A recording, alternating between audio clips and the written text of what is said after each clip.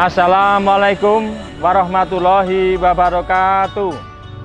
Kami atas nama MKKS SMP Negeri Kabupaten Tulungagung mengucapkan selamat menunaikan ibadah puasa bagi seluruh umat Islam.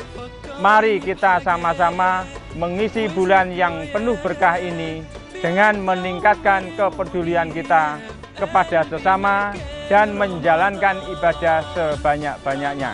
Wassalamualaikum warahmatullahi wabarakatuh.